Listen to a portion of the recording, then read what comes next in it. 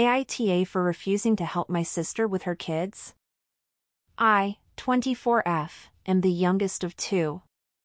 My sister Elizabeth is 28. Growing up, she was the golden child and I was the scapegoat. While she could do no wrong, I could never do anything right in our parents' eyes. Her opinion and feelings held all the weight while mine held none. My parents described Elizabeth as the perfect daughter and their dream come true. They also lived in a country with no abortion access when my mom got pregnant with me. I believe I was treated poorly because they didn't want another child or because I resemble my mom's deadbeat father. Elizabeth and I were not close growing up. Sometimes she would throw the favoritism in my face with questions like, why don't mom and dad ask what your favorite food is?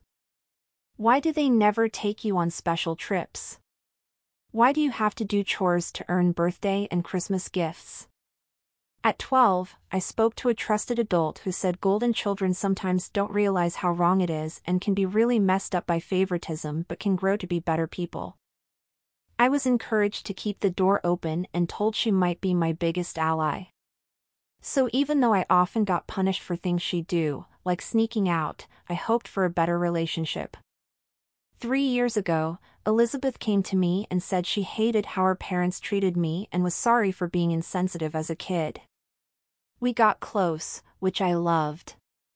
She told me she had basically no contact with our parents. A few months ago, I found out that was a lie, she was always in contact with them. I discovered this when she threw a party to celebrate the birth of her second child. My parents were there and commented that they were glad to have grandkids and could spoil them rotten. Elizabeth beamed. When her mother-in-law asked about me, Elizabeth scowled at her, which really hurt.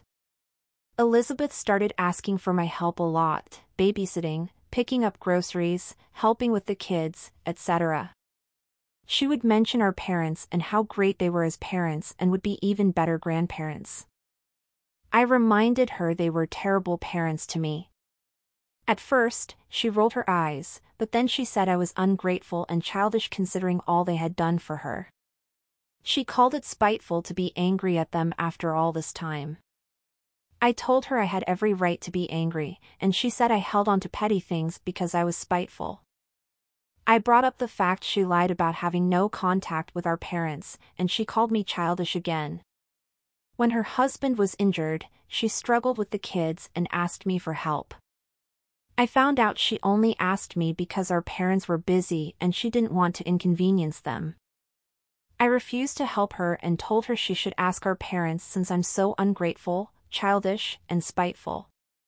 She said I was an asshole for my response and lack of help. Aita? If you liked this video, make sure you hit the like button and comment down below your thoughts. Also don't forget to subscribe and hit the notification bell for more videos like this.